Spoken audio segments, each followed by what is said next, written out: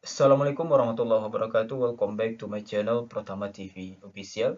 Di video kali ini kita akan belajar tata cara mendaftarkan toko kita di siplahkemendikbud.go.id. Begini tata caranya. Pertama-tama kita aktifkan internet kita masing-masing karena kita di sini sama kayaknya membuka sebuah toko online seperti marketplace Tokopedia, Lazada, Shopee dan lain sebagainya di sebelah ini kita bekerja sama dengan uh, Kementerian Pendidikan. Jadi caranya langsung saja kita praktekkan. Pertama-tama kita ketikkan di pencarian di Google siplah.kemendikbud ini. Lalu kita enter. Di inilah situsnya siplah.kemendikbud.go.id. Ini situs resmi pastikan .go.id karena Go ID ini adalah government Indonesia, pemerintah Indonesia yang resmi. Kalau nggak Go dia nggak resmi itu. Lalu kita klik Siplah ini. Maka ada akan ada pengumuman. Kita close saja. Kalau ingin baca silakan baca. Ini untuk sekolah-sekolahan. Karena kita sebagai pedagang atau sebagai orang yang akan membuka toko, nggak perlu kita ini. Kita close saja. Lalu Siplah ini banyak bermitra. Inilah mitranya ada PT Inti ini, Industri Telekomunikasi Indonesia Persero. Ada Eura, Eureka Book House, siplahbelanja.com, Toko Ladang, Pesona Edu, dan blibli.com. Jadi inilah mitra dari Siplah. Jadi kayak Shopee, Lazada belum menjadi mitranya, baru Blibli.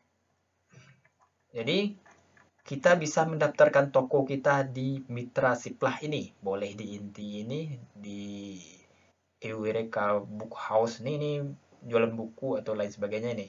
Atau di Siplah Belanja ataupun di blibli.com. Oke, kita praktekkan, kita coba mendaftarkan toko kita di Siplah ini ya, Siplah Eureka Bookhouse.co.id ini. Kita klik ini atau kita buka tab baru, terserah. Di sini kita lihat menunya tidak ada menu daftar, yang ada hanya menu login sekolah, login penjual. Login penjual sedangkan kita belum menjadi penjual di Eureka Book House ini, kita belum daftar. Kita klik login penjual ini, nanti akan ada menu daftarnya. Di sini kita lihat ada menu daftar, kita klik daftar ini. Oke, sudah terbuka menu daftarnya ini ada logo dari Kemendikbud. Jadi resmi kerjasamanya dengan Kementerian Pendidikan ya. Oke, di sini kita lihat nama toko. Silakan kita masukkan nama toko kita. Ini hanya tutorial ya, kita buat oh, pura-pura aja dulu.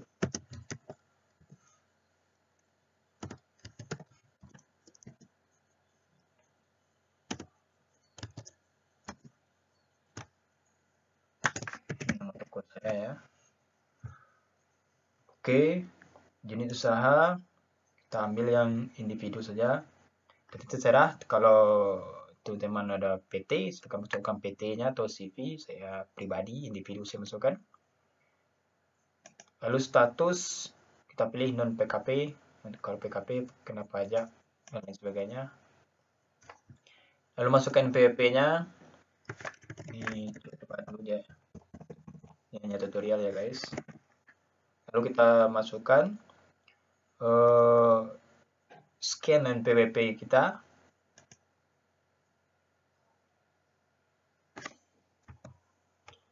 Oke okay. alamat dari MPWP nya misalnya. Kita buat ini ya.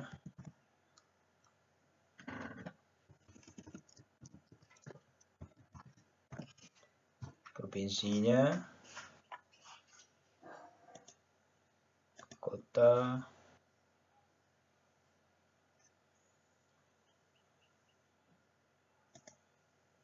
kecamatan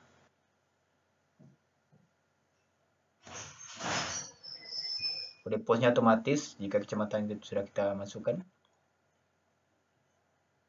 Alamatnya kita klik izinkan saja. nanti alamatnya otomatis dicarinya di Google Map lalu PIC-nya nama penanggung jawab. Buat aja nama penanggung jawabnya.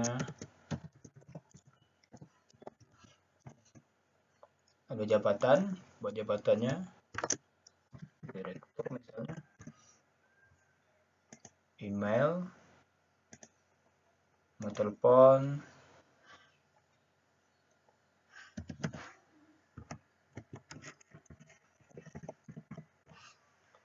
nama bank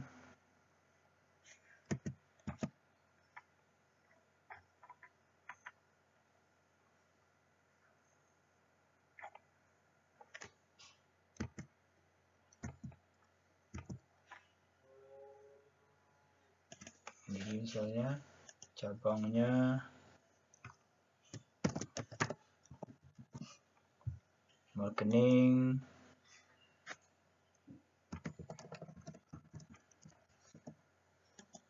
bank holder ini nama pemilik rekening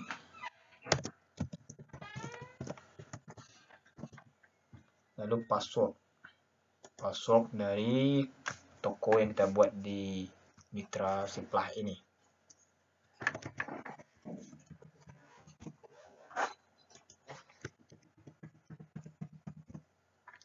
Lalu kita klik saya setuju.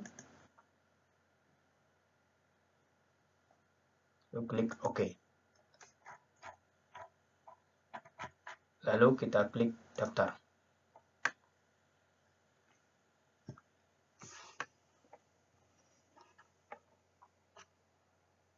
Oke, pendaftaran berhasil. Tinggal kita pantau aja email kita.